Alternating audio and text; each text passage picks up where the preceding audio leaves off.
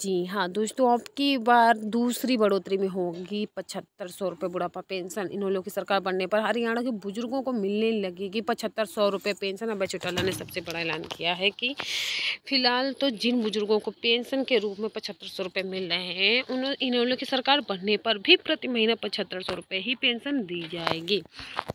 इनोलो विधायक अभय सिंह चौटाला ने कहा है कि हरियाणा में इनोलो की सरकार बनने पर बुढ़ापा पेंशन को बढ़ाकर तीन गुना कर दिया जाएगा। फ़िलहाल जिन बुज़ुर्गों को पेंशन के रूप में पचहत्तर सौ मिल रहे हैं, उन्हें इनोलो की सरकार बनने पर भी प्रति महीना पचहत्तर सौ रुपये पेंशन ही दी जाएगी। बीस फरवरी नू से शुरू होगी इनोलो की परिवर्तन। यात्रा अभय सिंह चौटाला नूह में आई एम टी रोजा का मेवा में हाजी समारोह खड़ी कंकर द्वारा बुधवार को आयोजित इनोलो के समारोह समान समारोह में शामिल होने के लिए पहुँच रहे थे।